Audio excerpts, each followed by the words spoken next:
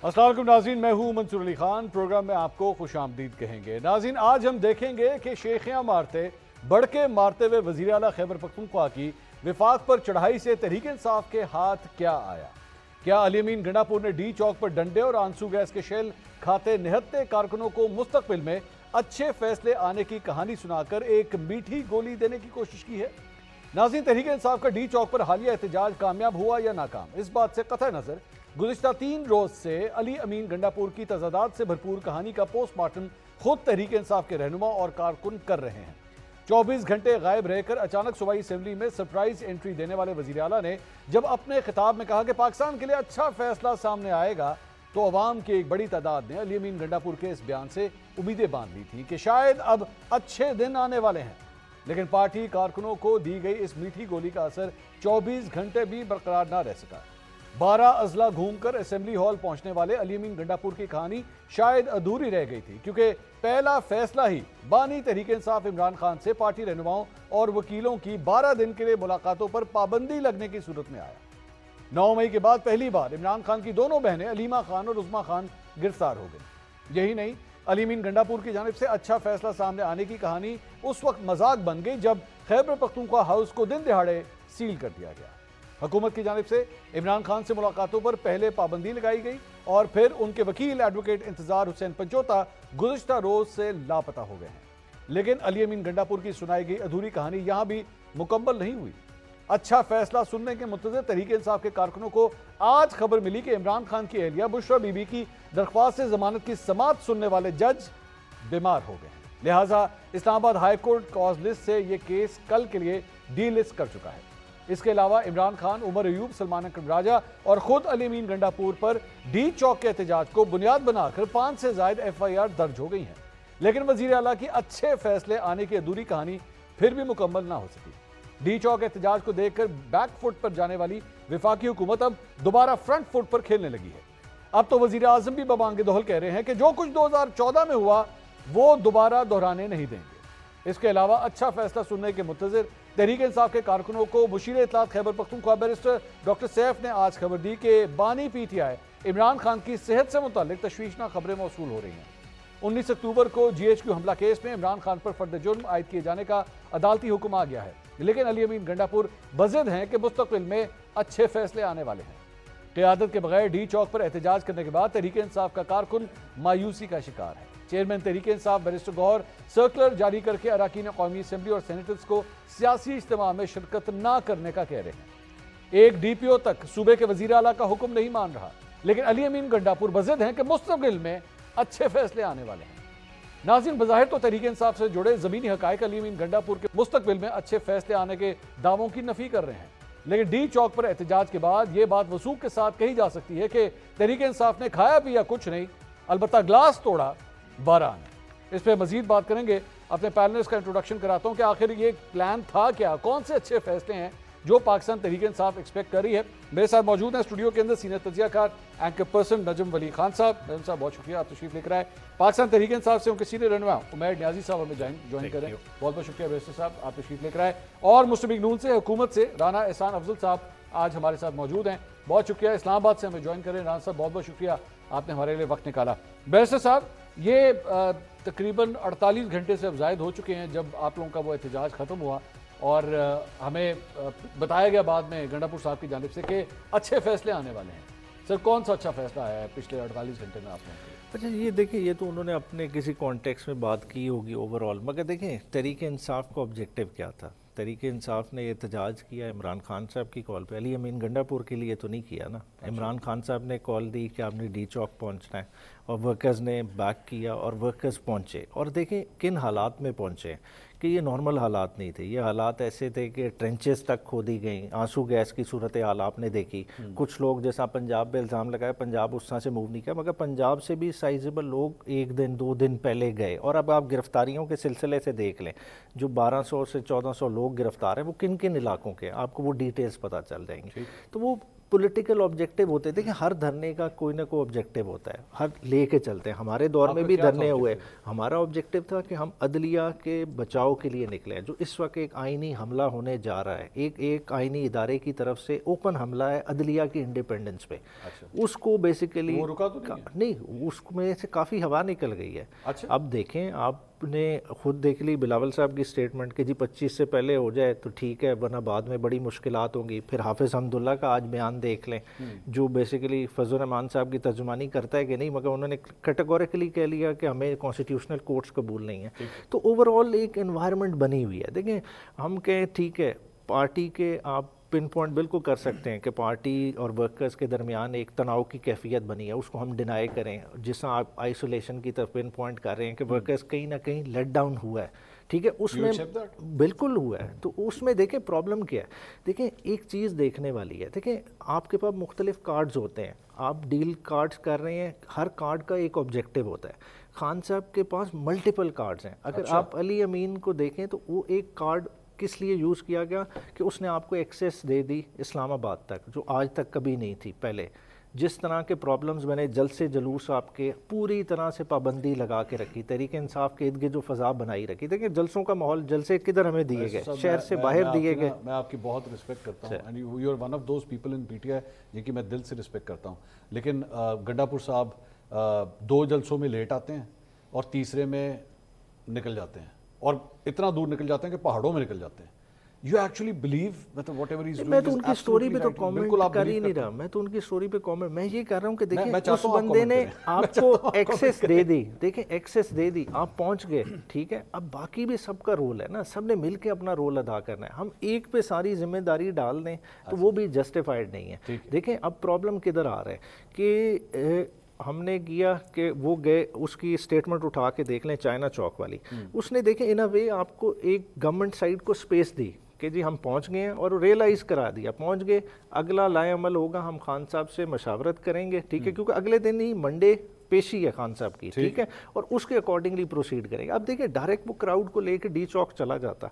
जो अभी खुद जहनी तौर पे क्लियर नहीं कि हमने डी चौक पे जाके करना क्या है ठीक है? हाँ, जाना है और फिर प्रॉब्लम बन जाए एक वो अपनी आवाम को उस मुश्किल में डाल दे तो वो भी जस्टिफाइड नहीं। देखिए हम्म। उसके डिफ़िकल्ट रोल है। देखिए उसने दो कैप्स पहनी हुई हैं। अच्छा। एक पार्टी हेड की कैप है जो कि के पी के का सरबराह है उसकी एक डिफरेंट रिस्पॉन्स दूसरा एक वो सूबे का आईनी हेड भी है। हम्म। उसने उसकी भी टेक केयर करनी है। तो उसकी वो एक इम्प्लाइड लिमिटेशन है। हमने वो भी तो टेक इन टू अकाउंट मैं राना साहब से पूछता हूँ आपने बड़ा इंटरेस्टिंग पॉइंट कहा कि आपका मकसद था अदलिया की हिफाजत करना और उनके जो हमला हुआ है। और आपकी नज़र में वो बैक ऑफ़ हो गया वो मतलब परेशान है। बहुत बहुत ज़्यादा बैक ऑफ़ हो। राना साहब तो फिर आप तो फारिग हो गए सर। आप तो बैक ऑफ़ हो गए। अब वो आइन की आइनी तरमीम और वो सारा कुछ छब्बीसवीं आइनी तरमीम के फ्रिज में रख दें क्योंकि जे यू आई फे भी नहीं मान रही।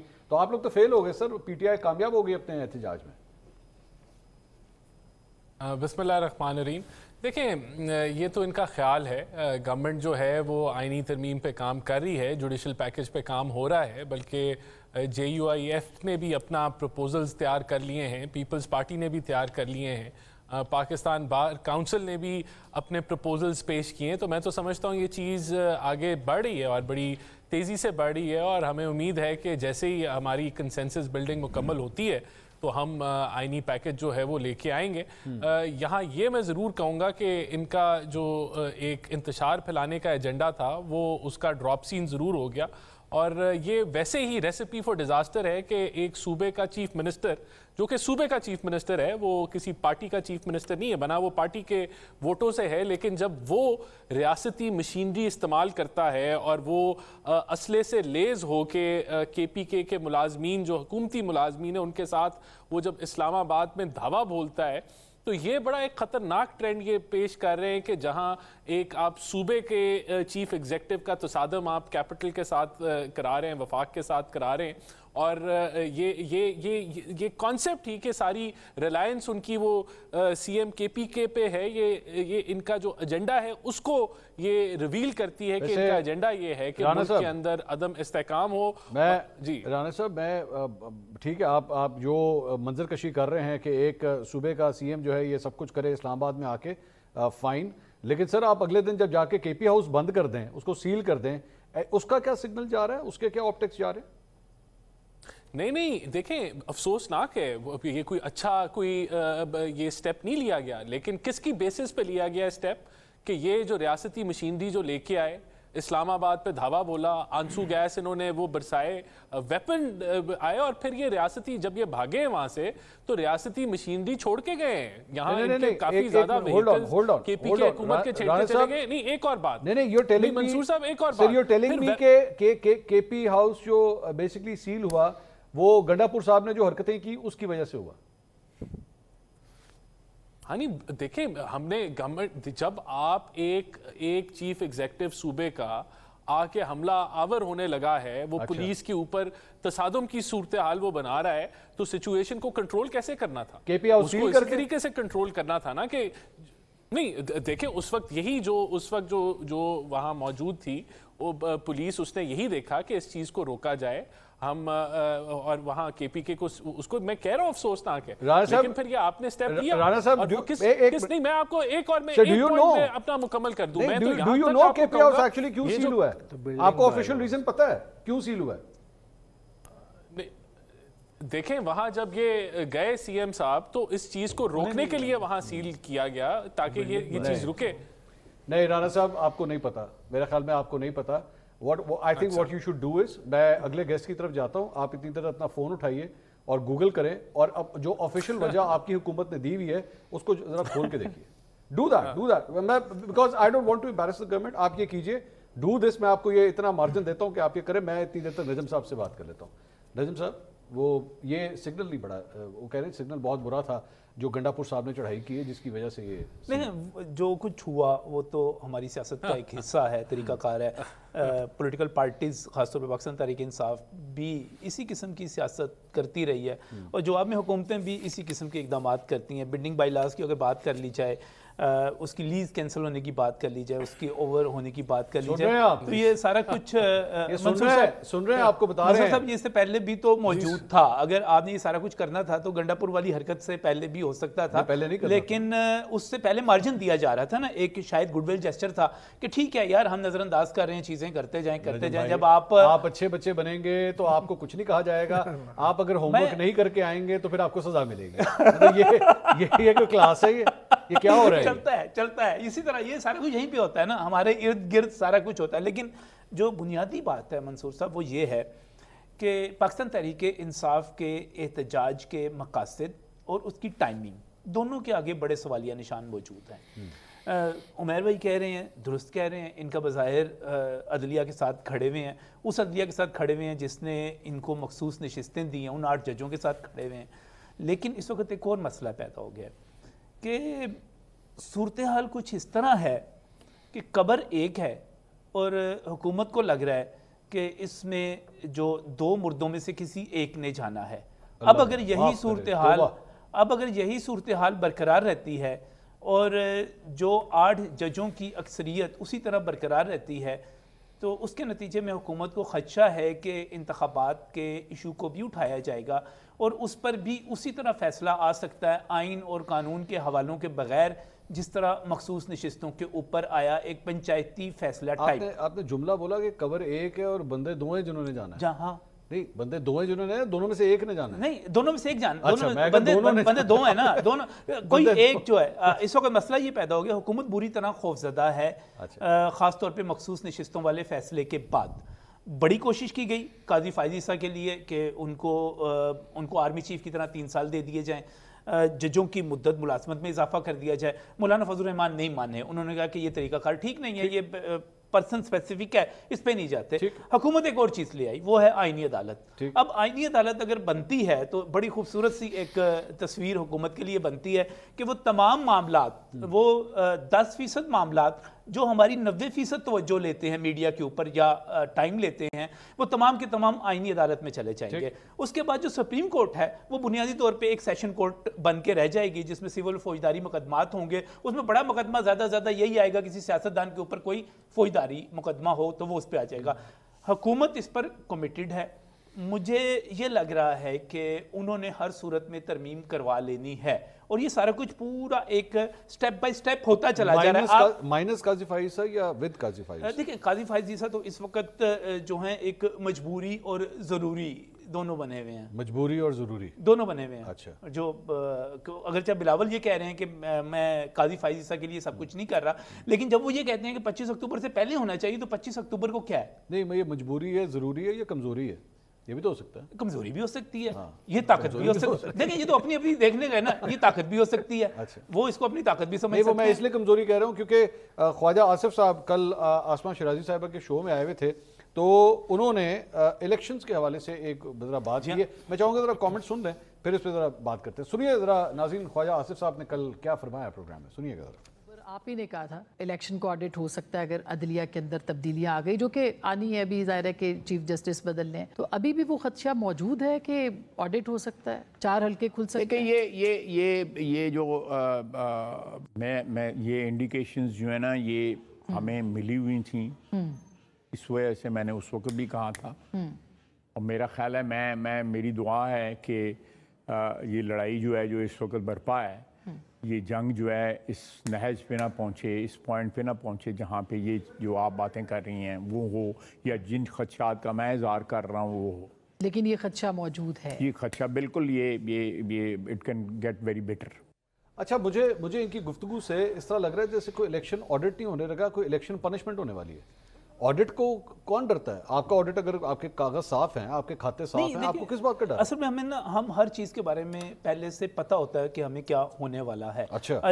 अब कोई भी बेंच बनता है कोई किसी भी जज के सामने लगता है तो माजरत के साथ माजरत के साथ। मुझे तो जजों का नाम और उनको देख के पता चल जाता है कि इसका किसका फैसला क्या आएगा। ये ज़रूर हुआ बाज़ अवत मेरी जो है कैलकुलेशन कोई थोड़ी सी इधर उधर हो गई। हम्म। मैं मानता हूँ गलती भी हुई होगी लेकिन 80 90 परसेंट हमें पता होता है कि कौन से जज ने क्या फैसला तो देना है। आपको लगता है ये ऑडिट अगर होगा तो तो ये ऑडिट होगा तो बहुत बहुत सारा पंडोरा बॉक्स जो है खाम खा का खुलेगा। खामखा का? खामखा का खुलेगा खामखा का? खामखा इसलिए मैं कह रहा हूँ कि ये आपने चीज़ों को देखने का है मंसूर ये आप जिस तरफ़ से चीज़ों को देखना शुरू कर देंगे आपको वैसी लगनी शुरू हो जाएँगी आप मतलब? इसको आप इसको मशकूक बनाना शुरू करेंगे ये मशकूक होना शुरू हो जाएगा। अच्छा। अगर अगर मैं मैं इसको 8 फरवरी के इलेक्शंस को देखूँ यार बड़े साफ़ सुथरे इलेक्शन हुए हैं तो मुझे साफ़ सुथरे नज़र आपको साफ़ सुथरे नज़र अगर मैं कहूँगा मुझे लग रहा है इसके अंदर जो है वो धांधली हुई है हाँ, तो अभी अभी धांधली नज़र आना शुरू हो अभी एहसान- वाह भाई वाह पूछ लिए अभी अभी अब एहसान भाई से पूछ लीजिएगा। उनको उनको एक धांधली का अंदर रत्ती बराबर भी नज़र आए तो कह दीजिएगा।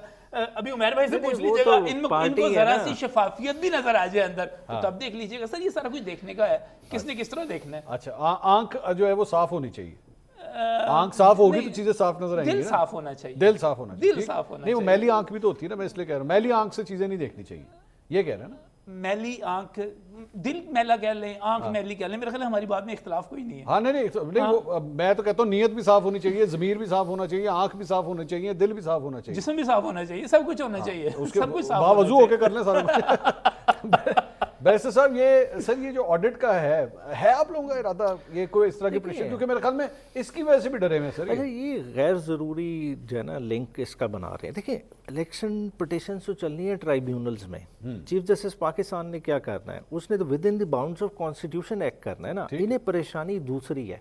परेशानी है कि ये जो आइनी तरमीम है इसने चैलेंज तो होना है। आपकी अठारहवीं तरमीम और इक्कीसवीं तरमीम में ये तो इस्टेब्लिश हो गया कि आइनी तरमीम चैलेंज हो सकती है पाकिस्तान में। जा, जा चुकी जा चुकी इन्हें ये है कि उस पर ये जब अंडू होगा तो हमारा सारा मामला बैठ जाएगा। क्योंकि बुनियादी तौर पे ये जमहूरी गवर्नमेंट का तो एजेंडा नहीं है। इन्हें एजेंडा किसी और ने दिया है।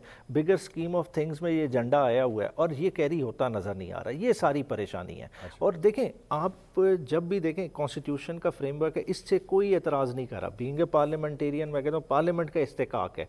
पार्लियामेंट अमेंडमेंट कर सकती है कॉन्स्टिट्यूशन में भी कर सकती है जो करना चाहे। मगर देखें कुछ आपके प्रिंसिपल इनबिल्ट हैं। ठीक है? इंडिपेंडेंस ऑफ़ जुडिशरी का प्रिंसिपल डीपली एनश्राइंड है। ठीक है? उसको आप किस तरह से अनडू कर सकते हैं? आप करें कि जजेस की आँखें निकाल के बिठाना चाह रहे हैं। कौन सा हिस्सा जो है आपकी नज़र में वायलेट हो रहा है? देखें सिंपल सी बात है आईनी अदालत हमारी सुप्रीम कोर्ट मौजूद है। ठीक है। उससे आपको प्रॉब्लम क्यों बना है आपको प्रॉब्लम है आईनी अदालत से? नहीं बिल्कुल है, है। क्योंकि ऑलरेडी आईनी अदालत मौजूद है। आपका अच्छा। प्रॉब्लम क्या है? हमें प्रॉब्लम इस वक्त है केस मैनेजमेंट का। हाँ। कि बेंच की कॉन्स्टिट्यूशन का जैसा से जो है ना more than 80 percent cases cases constitutional उस तरह से नहीं मगर देखिए क्रिमिनल केसेस में भी कॉन्स्टिट्यूशनल एंगल निकल आता है। आप राइट टू फेयर ट्रायल का उठा दे फिर किधर केस जाएगा? ये तो और तरह का बिंडोरा बॉक्स है। कॉमन लॉ कंट्रीज़ में कॉन्स्टिट्यूशनल कोर्ट्स अलहदा होती नहीं है। ये सिविल लॉ कंट्रीज़ का कॉन्सेप्ट है।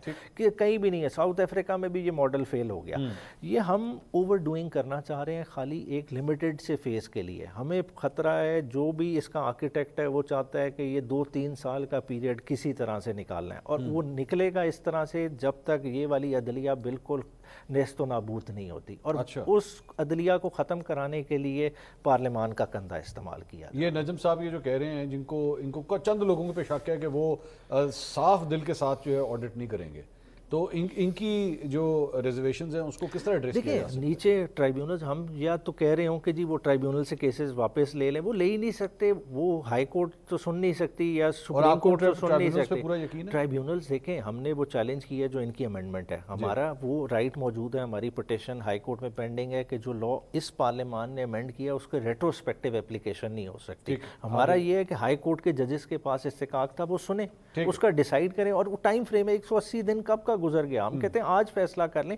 ये तो इतना कॉम्प्लिकेटेड ही नहीं है। नवाज़ शरीफ साहब का हल्का उठा लें। देखिए फॉर्म पैंतालीस ही ने एड अप करने हैं ठीक है? उसमें कितना टाइम लग जाएगा। मतलब देखिए कितनी बड़ी जाती है। आर चेंज कर दिया रातों रात। शायद मैंने वो साफ़ दिल से नहीं उठाया था।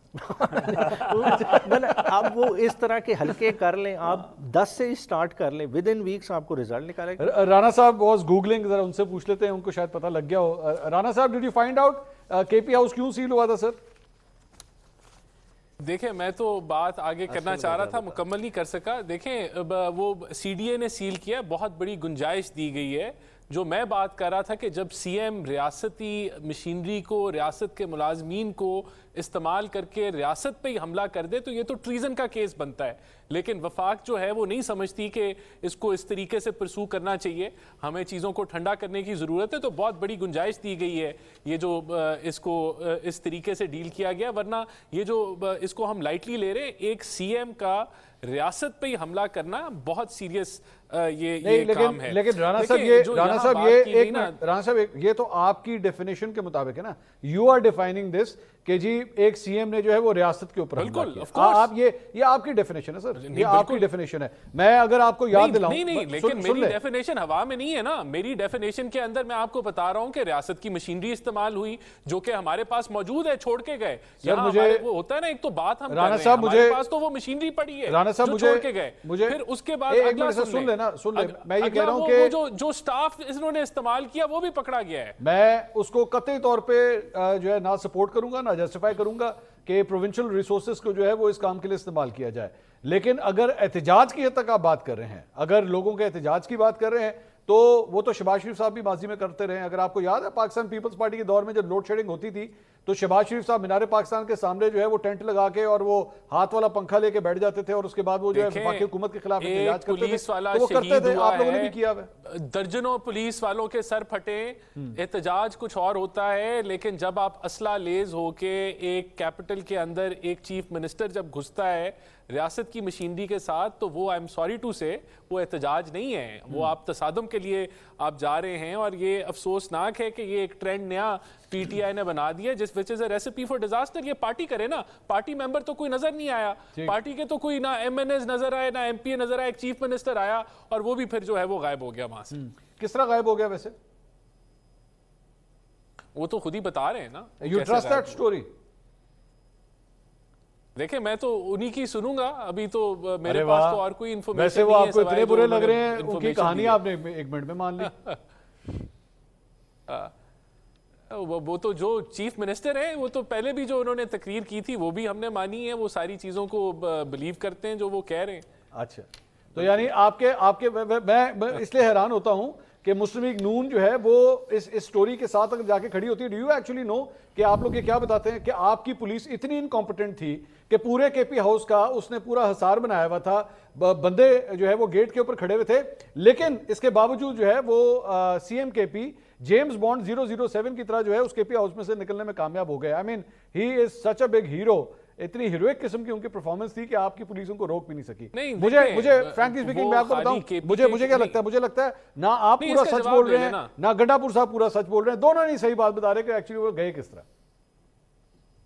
नहीं देखें बात यह है कि वो खाली केपी के सीएम कोई अकेले तो नहीं आए थे निहत्ते तो नहीं थे ना। उनके पास सारी केपी की रिसोर्सेज थी और उन्होंने उन्हीं रिसोर्सेज को इस्तेमाल करके वो उन्होंने एग्जिट लिया होगा। ठीक। तो वो अकेले तो नहीं थे उनके पास पूरी मशीनरी थी केपी के की। तो वो उन्होंने इस्तेमाल की होगी को फ़ायदा है ना इसमें एक इस स्टोरी के साथ जाने में कि वो गिरफ्तारी वाले मामले से या तहकीकात वाले मामले से या एस्टेब्लिशमेंट के ले जाने वाले मामले से सबसे निकल जाते हैं। नहीं तो मैं आपको एक और एंगल देता हूँ मैं आपको एक और एंगल देता हूँ। जो नून लीग के अंदर थोड़ी सी परेशानी भी है वो मैं आपको बताता हूँ। आज जंग के अंदर एक्चुअली साले जाफ़र साहब की कोई परेशानी नहीं है। मैं दसना मैं- मैं परेशानी पाना ना थानू मैं कदे नहीं बैठा। मैं हूँ ना मैं हूँ ना मैं भी आपको परेशानी डालता हूँ। वो ये है वो वो ये है कि अगर इस थ्योरी के साथ ना जाया जाए और इस थ्योरी के साथ चला जाया जाए कि उनको फैसिलिटेट किया गया। हाँ। ठीक है? You agree with that facilitate किया गया। मैं भी अगर समझता अगर अगर फैसिलिटेट अगर किया गया। चले अग- इस अगर के अभी तो साथ पता ही नहीं है ना ठीक है हाँ। ठीक है आई एग्री विद यू इस अगर के साथ चलते हैं इसका हाथ पकड़ के जरा थोड़ी सी वॉक करते हैं। हाँ। कि अगर फैसिलिटेट किया गया तो इसका मतलब है कि गंडापुर साहब जो हैं उनकी इतनी चलती है कि उनको फैसिलिटेट किया जा रहा है इस निज़ाम के अंदर। नहीं इसका एक और भी ठीक मतलब है ना। और और जो जो इसका एक और भी मतलब है ना। जो हम करते मंसूर हैं। साहब, इसका एक और इसका मतलब एक और है जवाब है ना। कि इनसे इसका लेके- एक और इनसे- जवाब है, इन- इनको देने दे पहले फिर मैं आपको अच्छा। जवाब जी बोले और क्या है इसका जवाब है भाई राणा साहब? नहीं देखें he is the chief minister of K P K तो उनके डेफिनेटली रबते होंगे और ऐसा नहीं है कि उनको लोग समझाते नहीं होंगे। ये सबका काम है कि उनको समझाएँ कि भाई आप सीएम के हैं आपका काम नहीं है। जमात ने एहतजाज करना है जमात 200 दफ़ा करे। आप जो है जब ये काम रियासती इक्विपमेंट मशीनरी लेके आप जब पहुँचते हैं तो ये पाकिस्तान की तबाही की रेसिपी है। तो मेरे ख्याल से अगर अगर ये जो आप कह रहे हैं अगर अगर में ही हम बात कर रहे हैं किसी ने उनको ये बताया हो कि भाई ये काम आप सीधे हो जाएँ या ना करें ये ये रियासत के लिए ठीक नहीं है तो मेरे ख्याल से ये मशवरा मेरी तरफ़ से भी उनको जाना चाहिए और सबको देना चाहिए। मशवरा देने के लिए फैसिलिटेशन आप आपकी क्या थ्योरी फैसिलिटेट मैं आपकी थ्योरी के साथ हमने इस पर चहलकदमी करनी है हाँ, आगे जाना है। तो आपने कहा कि फैसिलिटेट उनको किया। गया तो फैसिलिटेट करने का मतलब ये हुआ कि गंडापुर साहब डबल ड्यूटी कर रहे हैं। नहीं तो आप नहीं समझते? नहीं। आपको कोई नहीं, और मैं- मुझे मुझे तो आप जिस तरफ़ लेकर जा रहे हैं चहलकदमी करते तो हुए मैं मैं तो उसी तरफ़ जा रहा हूँ। तो मैं तो उसी तरफ़ जा रहा हूँ ना। तो इसका मतलब किसी जमाने में मेरा काजी साहब काजी हुसैन अहमद के साथ बड़ा अच्छा ताल्लुक था। अब भी मैं उनका बहुत एहतराम करता हूँ। एक लतीफ़ा आपको सुनाना चाहता हूँ वो लतीफ़ा सिर्फ़ इतना है किसी ने कहा कि काजी साहब जो हैं वो सी के एजेंट हैं। वो आपा ना मुझसे नाराज़ हो जाए दोबारा उनकी साहबजादी वो नाराज़ हो जाती हैं। लेकिन बहरहाल ये एक लतीफ़े के तौर पर आप सुना रहे हैं। लतीफे के तौर पे है ना। किसी ने कहा कि काजी हुसैन अहमद जो हैं वो सीआईए के एजेंट है। उसने कहा यार कैसी बात करते हो? वो सीआईए के एजेंट वो तो सीआईए के खिलाफ अमेरिका के खिलाफ बोलते ही बहुत ज़्यादा है। तो अगले ने कहा हो सकता है उनके पास असाइनमेंट ही ये हो। हाँ बिल्कुल ठीक। ठीक है ना? बिल्कुल ठीक। हाँ। तो अब आप अब आप तो मेरा हाथ पकड़ के चलना शुरू हुए थे आप तो दौड़ना शुरू हो गए। आप तो दौड़ना शुरू हो गए। ये आदिल राजा भी यही कह रहे हैं वैसे। ये क्या सॉरी आदिल राजा भी यही कह रहे हैं। नहीं मैं खैर आदिल राजा की मैं गवाही के ऊपर नहीं जाऊँगा नहीं जाता मैं वैसे। फ्रैंकली स्पीकिंग जो लोग इस तरह बाहर बैठे हुए हैं ना मैं खुद समझता हूँ उनको पूरी बात पता ही नहीं होती कि पाकिस्तान के अंदर क्या हो रहा है। मैं इसलिए उनकी बात से नहीं चाहूँगा लेकिन बैरिस्टर साहब ये सारी चीज़ का आगे अब क्या देख रहे हैं? आप what you see in the next 15 days SCO summit के बाद? क्योंकि ये लोग जो प्लान बना के बैठे हुए हैं ना ये कह रहे हैं कि कार्रवाई जो भी डालनी है एससीओ समिट के बाद डालनी नहीं गंडापुर साहब डबल ड्यूटी कर रहे हैं कि नहीं कर रहे हैं? इनके पास भी तो इन्फॉर्मेशन होगी ना। नहीं वो तो कभी भी नहीं कहेंगे। आपके ख्याल में वो ये कहेंगे नहीं, क्या बात- नेशनल टेलीविज़न पे बैठे हैं क्या इनका पॉइंट ऑफ़ कंसर्न कुछ और होना चाहिए। देखें वो भी राणा साहब के जो अपनी एंगजाइटी छुपा रहे हैं छुपा क्या रहे हैं? देखें इन्हें किसी ने भेजा कि चढ़ दौड़ो के पी के हाउस पकड़ो। और फिर किसी ने वहाँ से फैसिलिटेट कर दिया जो खान साहब कह रहे वो हैं पहले तो बेसिकली से बता रहे थे ना वो ही असल वजह थी। वो बेसिकली डबल क्रॉस हो गए तो मैं इसलिए आपको कह रहा था कि आप जो बोल रहे हैं आपको पता है कि आप क्या कह रहे हैं असल वजह कुछ और बताइए नहीं असल वजह थी वैसे वही। कह रहा ना उन्होंने राणा साहब ने फरते जज्बात में कह दिया वरना उससे हाँ पहले भी ये तो वजह थी because he was not a good boy तो उनको पनिशमेंट मिली है इस चीज़ की। देखिए वो तो पहले भी लीज तो पहले से खत्म हुई हुई थी ना अचानक तो बिल्डिंग लॉस की खिलाफ वर्जी नहीं हुई अचानक लीज खत्म नहीं हुई हाँ अचानक नहीं हुआ हाँ। अचानक तो कुछ और हुआ सर मेरा कहने का मकसद है कि एक अली अमीन गंडापुर तो ये होता है, है हाँ। एक सीएम है। मेरा नहीं मेरा कहने का मकसद एक सीएम है। अगर उसने कुछ गलत किया है जो कि मैं राना साहब की बात से एग्री करता हूँ कि सूबाई जो एडमिनिस्ट्रेशन के रिसोर्सेज है उससे नहीं इस्तेमाल करना ठीक है। उसकी सजा आप केपी हाउस को क्यों देंगे? नहीं तो पंजाब हाउस को दें। नहीं केपी हाउस हाउस को कर सकते हैं? अंदर विफाकी दारुल हुकूमत के अंदर आप एक सूबे का जो नुमाइंदा जो एरिया है how can you seal it how can you do नहीं तो दैट आपको अंदाज़ा है कि आप इससे पूरा सिग्नल क्या दे रहे हैं? वो ये कर सकते हैं। जब दोनों पार्लियामान पे हमला हो गया। सर, गलत है ना? कह रहा हूँ सर- मैं ये कह रहा हूँ। देखिए मैं मैं तो कह रहा हूँ सर अली अमीन गंडापुर का जाति घर बंद कर मिनिस्टर दें केपी के क्या सिग्नल दे रहा है? नहीं नहीं मैं मैं मैं तो सर उस पर कह चुका हूँ वो गलत मैं कह रहा हूँ आप गंडापुर का कोई जाति घर है जाए जाके उसको सील करें। Why KP house KP house पूरे केपी का है गंडापुर का जाति थोड़ी है। आप आप जाके उस, उसकी प्रॉपर्टीज़ को सील करें उसके बैंक अकाउंट को आप सील कर दें आई डोंट केयर असूली और किताबी तौर पर तो सौ फ़ीसद आपसे मुत्तफिक हूँ। अच्छा उस पर नहीं चलना चाहिए? असूली और किताबी तौर पर। अच्छा, चलो, मैं होना ही नहीं हूँ। चाहिए ये है नहीं, नहीं चाहिए होना ही नहीं चाहिए ऐसा। इस किस्म का सब कुछ होना ही नहीं चाहिए। देखिए इतना अच्छा माहौल चल रहा है। अब आज ही की आप खबरें देखें कि आज जो सऊदी वफ्द आया टू बिलियन डॉलर की इन्वेस्टमेंट की बात कर रहा है। आज ही खबर आई है कि रेमिटेंसेस कितनी ज़बरदस्त 8.8 बिलियन डॉलर पे पहुँची हैं और बैरून मुल्क पाकिस्तानी जो हैं जो ये समझा जाता था कि वो खान साहब को ही सब कुछ भेजते हैं उन्होंने एक नया रिकॉर्ड कायम कर दिया है। आज ही स्टॉक मार्केट एक मरतबा फिर उसने जंप लगाया फिर थोड़ा वापस भी आई है लेकिन बहुत बड़ा जंप लगाया अच्छी अच्छी चीज़ें हो रही हैं। तो अच्छी अच्छी चीज़ों में मेरा ख्याल है फिर अच्छी अच्छी बातें करते हैं अच्छे मुस्तकबिल के ख्वाब देखते हैं। अच्छा। ये सारी चीज़ें छोड़ देते हैं। गुलाब जामुन की रेसिपी डिस्कस कर ब्रेक लेता हूँ। ब्रेक के बाद डिस्कशन को मजीद आगे बढ़ाते हैं हमारे साथ रहिएगा।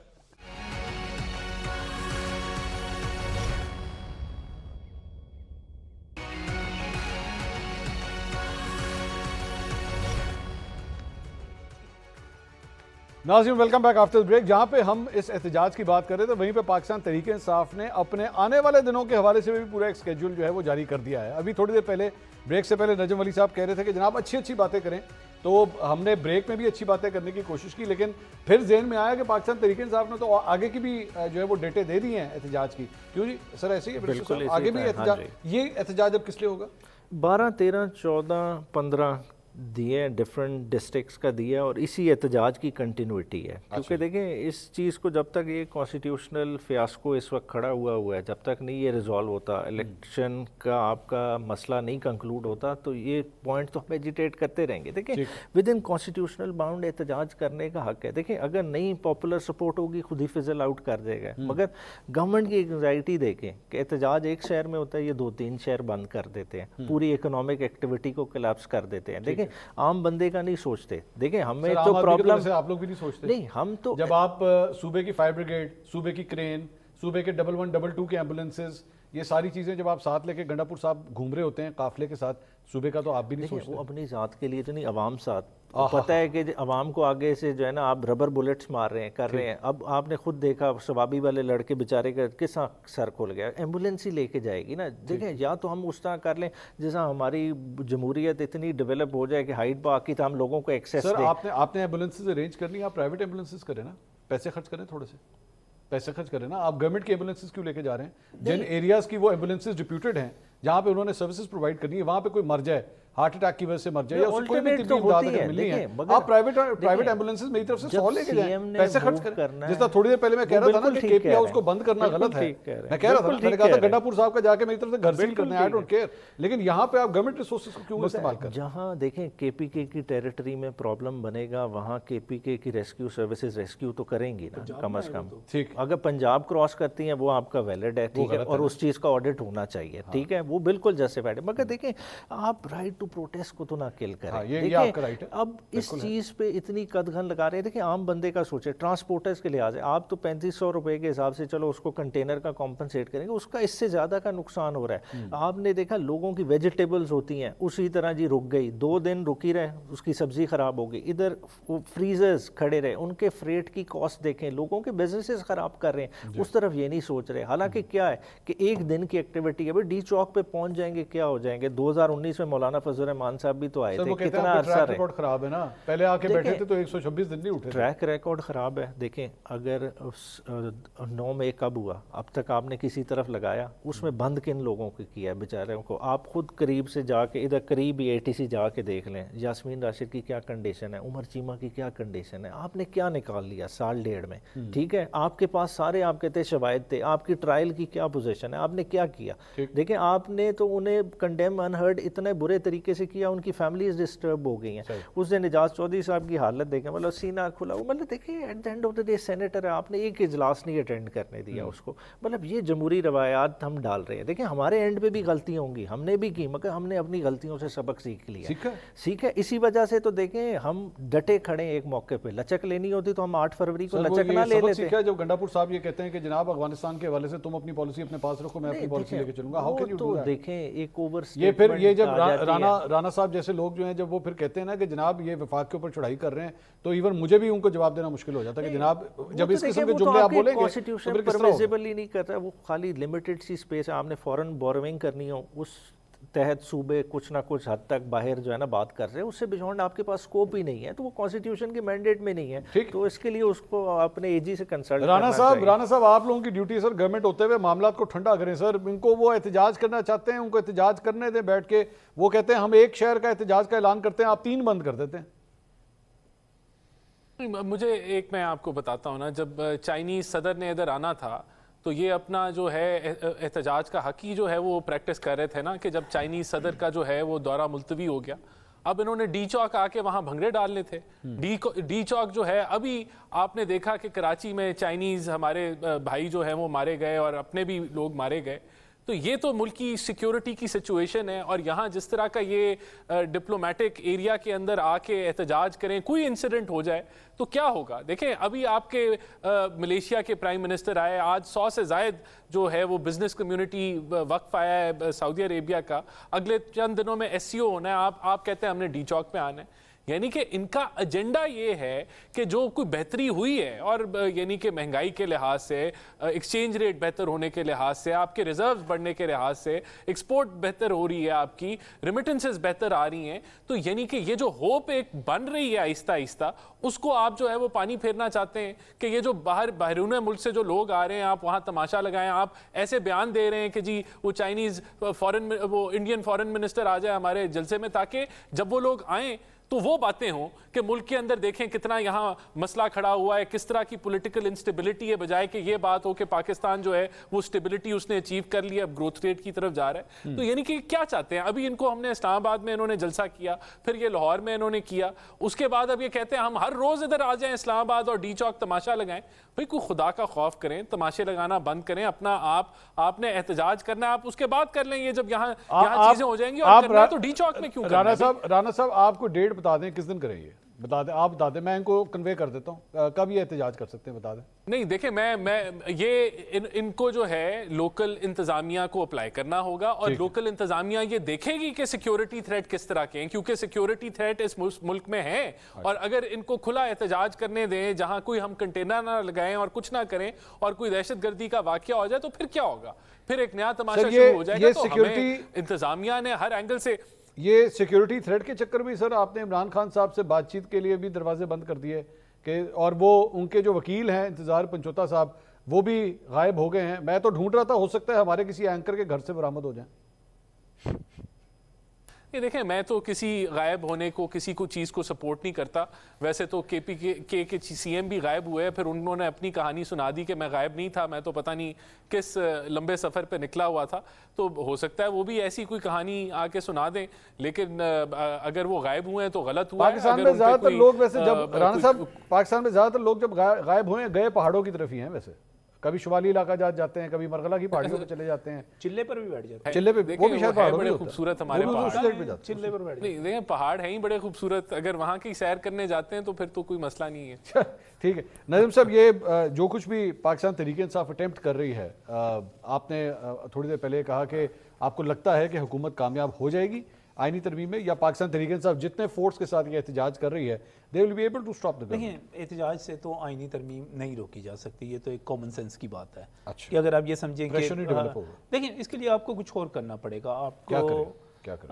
आपको शायद पार्लियामेंट के अंदर कोई रोल प्ले तो करना मैंने आजकल। पड़े पार्लियामेंट का भी किया हुआ है सियासतदानों का बाइकआउट किया हुआ है था powers का किया हुआ है। मिसिंग था लिमिटेड अच्छा उस उस वक्त के लिए। क्योंकि आज ये खबर आई है कि चीनी वज़ीर आज़म भी जो है वो मुश्तरका पार्लियामेंट के इजलास से चौदह तारीख को शायद खिताब करने वाले हैं तो मैंने कहा ये ना कितना बुरा लगेगा ऑपोजिशन ही नहीं बैठी हुई है। मंसूर साहब सर। पाकिस्तान तहरीक इंसाफ के लिए रास्ता आइन में से निकलेगा कानून में से निकलेगा सियासत में से निकलेगा मुस्लिम लीग नून के लिए भी रास्ता एक मजामत से नहीं निकला था। एक जगह भूल गया।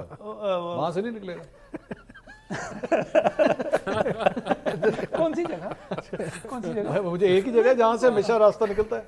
अच्छा। जिसके जिस रास्ते पे जाना ही बड़ा मुश्किल काम है। बताएँ तो सही ना। वो एक ही जगह बताएँ तो पिंडी वाली साइड पे जो जाती पिंडी वाली साइड पे जो शेख रशीद। वाली साइड शहबाज शरीफ भी. शेख रशीद क्यों शहबाज शरीफ मुस्लिम लीग नून ये टू बी वेरी फ्रैंक हाँ। मुस्लिम लीग नून का रास्ता मजामत से निकला था. हम्म। लड़ाई से निकला था. अच्छा। सियासत से निकला है ना? हाँ। मुफामत से निकला है. तो पाकिस्तान तहरीक इंसाफ अगर ये सब डील से मई ना। कहा डील से से और ढील से और सारी चीज़ें। देखिए इसको आप आप चाहते हैं वो भी फिर वही फिर वही फिर वही बात। हम हम पुरानी हम पुरानी बात पर आ गए हाँ। कि आप इसको डील कहते हैं। मैं इसको मुफामत कहता अच्छा। हूँ मैं मैं इसको समझता हूँ कि हमने एक दूसरे के साथ मिलकर चलना है। पाकिस्तान तहरीक इंसाफ इस मुल्क से या मुस्लिम लीग नून थी किसी वक्त या पीपल्स पार्टी थी किसी वक्त इस मुल्क से फौज को नहीं निकाल सकती। सर आप हमारी आप उनके उनकी डील देखें ना आप एक, एक मिनट के नोट तो करें। क्या? वो उनकी मजामत शुरू हुई थी एस्टैब्लिशमेंट के खिलाफ। पीटीआई की ना? ठीक है। नौ मई उसके बाद जंगल का बादशाह डर्टी हैरी मिस्टर एक्स ये सारा कुछ। ये करते करते करते सा, सारा कुछ था ना? आईजी तक आ गई है।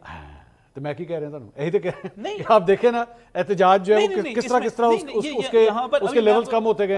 और मेरा ख्याल में शायद अगला एहतजाज होगा ना जो अभी हम एतराज़ अगला चौदह लाहौर में कब है जी? लाहौर का अभी डिफरेंट डेट चौदह तारीख चौदह या पंद्रह चौदह तारीख तक मेरे ख्याल में थाना मुगलपुरा के एसएचओ के खिलाफ होगा शायद एहतजाज। जो जितना लेवल नीचे जा चुका है नहीं मेरा ख्याल है अब चले मज़ाक की बात अब सीधे। आप देखें ना लेवल देखें कहाँ कहाँ ये से तो कहाँ आ गया ये लेवल नीचे आएगा अभी इस वजह से आएगा कि खान साहब से गुफ्तगू और मुलाकातों पर पाबंदी है हाँ। जब ये पाबंदी दोबारा खत्म हम्म। होगी फिर उधर से एक नई गाइडलाइन आएगी अच्छा। हिम्मत हौसले वाली कोई ऐसा बयान आएगा ज़बरदस्त था फड़कता हुआ कि मेरी बीवी को फलां बंदा कत्ल करवाना चाह रहा है और फलां चीज़ होने वाली है वो सारे सी जो हैं वो उड़ा के रख देंगे तो बुनियादी तौर पे रास्ता तो जनाब आपका आप उसको डील कहते हैं मैं उसको मुफामत कहता हूँ। आपका रास्ता जो है मुफामत से निकलेगा बुरा लफ्ज कुछ- तो नहीं है। बुरा बुरा लफ्ज है नेगेटिव यूज़ तो नेगेटिव होता है। कभी कभी मैंने इसको पॉजिटिव होते हुए देखा नहीं है वरना तो वैसे बिज़नेस डील्स भी होती हैं सारा कुछ होती हैं। इसको आप सियासत में मुफामत कह लें। अच्छा। तो रास्ता इनका निकलेगा मुस्लिम लीग नून का भी वहाँ से निकला था। इवन पाकिस्तान पीपल्स पार्टी का भी जब मोहतरमा Benazir Bhutto prime minister of Pakistan बनी थी तो गुलाम इसाक खान को और साहबजादा याकूब खान को लेकर उन्होंने भी एक मुफाहमत की थी उससे रास्ता निकला था। मुशरफ साहब के साथ भी की थी मु- मुशर्रफ साहब के साथ भी की थी। की थी। जी हाँ उसके उसके नतीजे में वो केसेस जो खत्म हुए थे बाद में फिर वो सारा कुछ हुआ था। सारा कुछ हुआ था। तो हमेशा रास्ता वहीं से निकला है। वैसे साहब रास्ता निकालें सर को- कोशिश करें। देखिए रास्ता एक ही शख्स ने निकालना है वो इमरान खान है। अच्छा। और पीटीआई जो आठ फरवरी वाला इलेक्शन है उसने इस चीज़ को फर्दर एंडोस किया देखिए हम सारों ने इलेक्शन लड़ा ठीक है हम नाम के खड़े थे वोट अवाम ने इमरान खान को दिया और लोगों ने सिंबल ढूंढ ढूंढ ढूंढ के दिया आपके सामने आपने सारा कवर किया। और जो भी जिस तरह की अब मैं देखता हूँ खान साहब की क्लैरिटी है वो एक डिफरेंट लेवल की है। देखें पहली दफ़ा गवर्नमेंट होना एक और बात थी और उन्होंने अपनी मिस्टेक रियलाइज़ की। खान साहब का एक ये है अपनी गलती मानते हैं।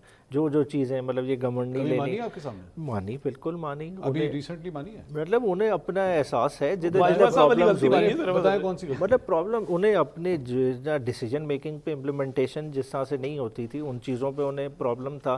फिर जिस तरह से वीक गवर्नमेंट ली नहीं लेनी चाहिए थी उन्हें था कि हमें उससे बेहतर था। कि अपोजिशन में बैठते क्योंकि देखिए इमरान और और, खान और आगे चलें। तो इसी बात है ऑन रिकॉर्ड है। जो डिफरेंट लोगों को लिया दूसरी तरफ़ से वो उनके नहीं थे। डिफरेंट जो आज़ाद लोग आए फिर चले गए। देखिए अब नेम नहीं क्योंकि फिर असेंबलियों में बैठे हैं दूसरी तरफ़ बैठे हैं उस तरह नहीं मगर है कि देखिए अब रियलाइज़ हो गया खान साहब नहीं अच्छी की बात नहीं कर रहा मैं कह रहा हूँ आपको अपनी अब पार्टी में पूरी तरह यकीन है। मैं जरा ऑन रिकॉर्ड चाहूँगा जवाब दें।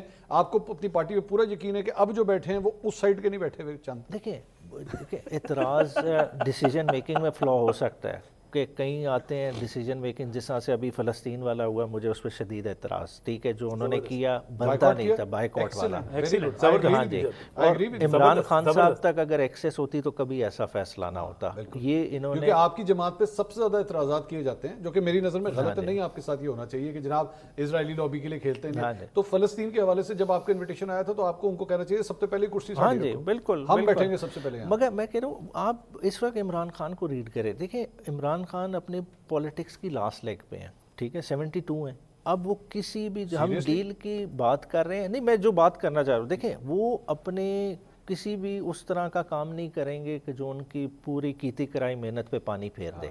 वो अब स्टैंड करेंगे चाहे वो सीट मिलती है नहीं मिलती वो उनका कंसर्न नहीं है। वो इस पॉलिटिक्स में अपना मार्क छोड़ना चाहते हैं और इस चीज़ में वो बहुत ज़्यादा कन्वेंस है और उनकी इसके साथ बड़ी कन्विक्शन अटैच है इस चीज़ के साथ।